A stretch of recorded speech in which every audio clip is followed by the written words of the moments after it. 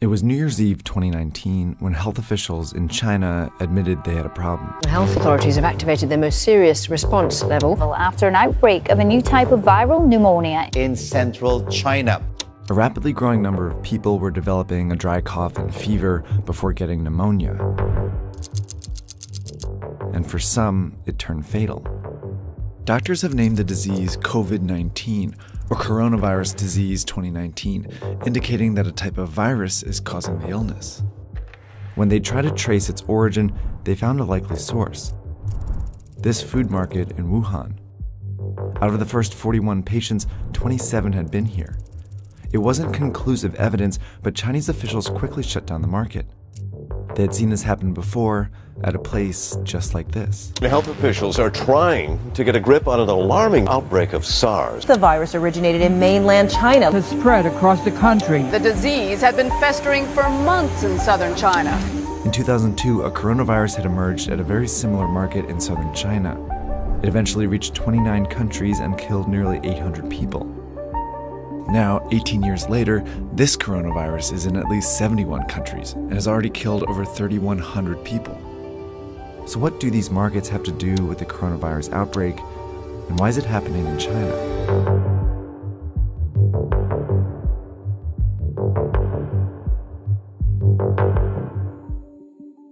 A lot of the viruses that make us sick actually originate in animals. Some of the viruses that cause the flu come from birds and pigs. HIV AIDS comes from chimpanzees. The deadly Ebola virus likely originates in bats. And in the case of the 2019 coronavirus, there's some evidence it went from a bat to a pangolin before infecting a human. While viruses are very good at jumping between species, it's rare for a deadly one to make this journey all the way to humans. That's because it would need all these hosts to encounter each other at some point. That's where the Wuhan market comes in. It's a wet market. A kind of place where live animals are slaughtered and sold for consumption. It was not a surprise at all, and I think that it was not a surprise to many scientists.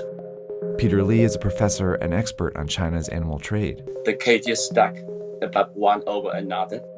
Animals at the bottom uh, were, are often soaked with all kinds of liquid, animal excrement, pus, blood or whatever the liquid they're receiving from uh, the animals uh, above. That's exactly how a virus can jump from one animal to another. If that animal then comes in contact with or is consumed by a human, the virus could potentially infect them. And if the virus then spreads to other humans, it causes an outbreak. Wet markets are scattered all over the world, but the ones in China are particularly well known because they offer a wide variety of animals, including wildlife. This is a sample menu reportedly from the market in Wuhan. These animals are from all over the world, and each one has the potential to carry its own viruses to the market. The reason all these animals are in the same market is because of a decision China's government made decades ago. Back in the 1970s, China was falling apart.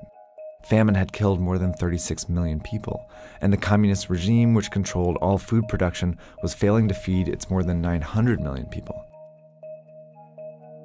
In 1978, on the verge of collapse, the regime gave up this control and allowed private farming. While large companies increasingly dominated the production of popular foods like pork and poultry, some smaller farmers turned to catching and raising wild animals as a way to sustain themselves.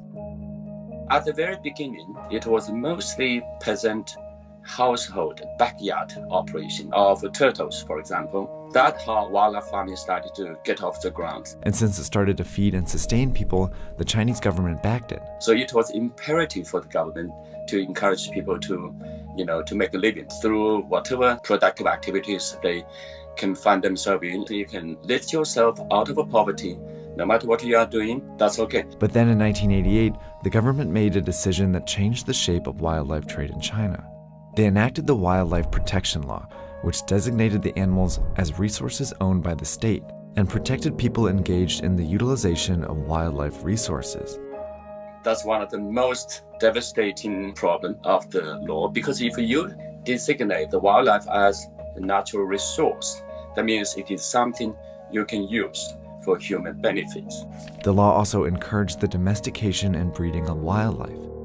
And with that, an industry was born. Small local farms turned into industrial sized operations.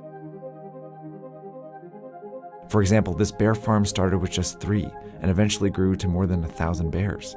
Bigger populations meant greater chances that a sick animal could spread disease. Farmers were also raising a wide variety of animals, which meant more viruses on the farms. Nonetheless, these animals were funneled into the wet markets for profit. While this legal wildlife farming industry started booming, it simultaneously provided cover for an illegal wildlife industry. Endangered animals like tigers, rhinoceroses, and pangolins were trafficked into China. By the early 2000s, these markets were teeming with wild animals when the inevitable happened. The latest on the deadly SARS virus, the worldwide death toll up again today. China has reported more than 1,400 cases of infection nationwide. It is what health officials have feared all along. In 2003, the SARS outbreak was traced to a wet market here in southern China. Scientists found traces of the virus in farmed civet cats. Chinese officials quickly shut down the markets and banned wildlife farming.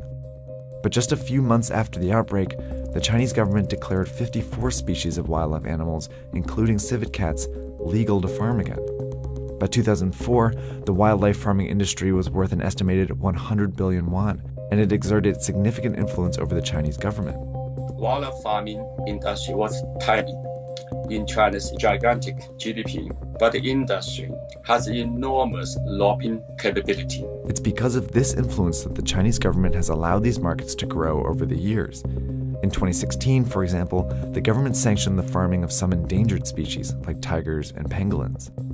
By 2018, the wildlife industry had grown to 148 billion yuan and had developed clever marketing tactics to keep the markets around. The industry has been promoting you know these wildlife animals as you know tonic products as you know bodybuilding as sex enhancing and of course as disease fighting none of the claims can hold water Yet these products became popular with an influential portion of China's population. The majority of the people in China do not uh, eat wildlife animals. Those people who consume these wildlife animals are the rich and the powerful. A small minority. It's this minority that the Chinese government chose to favor over the safety of the rest of its population. These parochial commercial interests of small number of wildlife eaters are hijacking China's national interest. Soon after the coronavirus outbreak, the Chinese government shut down thousands of wet markets and temporarily banned wildlife trade again. Organizations around the world have been urging China to make the ban permanent, Chinese social media, in particular, has been flooded with petitions to ban it for good this time. In response, China is reportedly amending the wildlife protection law that encouraged wildlife farming decades ago. But unless these actions lead to a permanent ban on wildlife farming, outbreaks like this one